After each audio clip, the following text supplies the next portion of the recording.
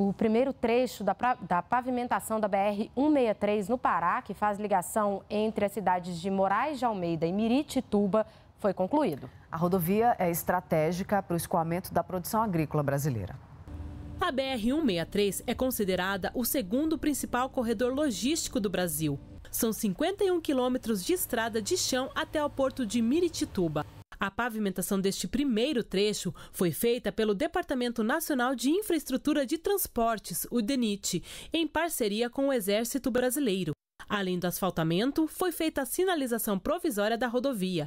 A pavimentação da BR vai melhorar o escoamento da produção de grãos do centro-oeste do país. A gente está redirecionando a logística do Brasil para o norte, porque nós vamos ter menores distâncias para os mercados consumidores da Ásia, Europa. Isso vai fazer com que a gente seja mais competitivo, vai diminuir o custo do produtor e é mais dinheiro que sobra para novos investimentos, são mais empregos que serão gerados, ou seja, a gente insere, melhora a infraestrutura do Brasil, insere o Brasil de novo como um grande player mundial, é, principalmente no agronegócio.